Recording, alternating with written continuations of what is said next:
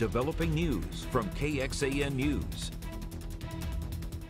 That developing news happening uh, right now. This is in the northwest Austin area. Word of one person injured during a traffic stop involving an immigration officer. You see here on this map, this is in the area of 183 and Woodland Village. What we know at this point is APD was called out at some point after this stop happened. This is a live picture we're looking at right here. Um, they were called in for a disturbance call after this traffic stop. They tell us two women were arrested for outstanding warrants.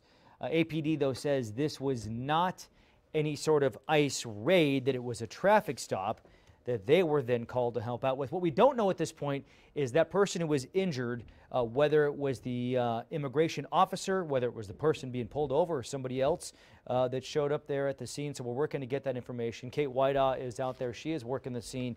We'll be checking in with her in a bit.